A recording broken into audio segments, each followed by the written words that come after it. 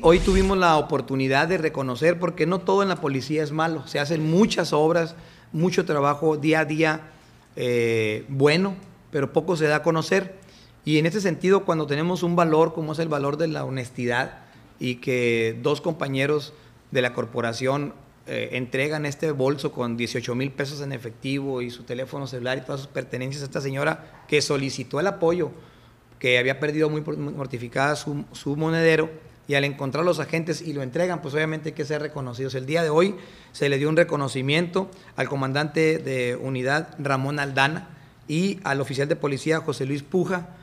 y en ese sentido le dimos un reconocimiento en físico para que lo presuman, para que lo pongan en la sala de su casa, que lo muestren a sus hijos orgullosamente de el valor de, de la honestidad como un buen servidor público, un policía que nos llenó de orgullo.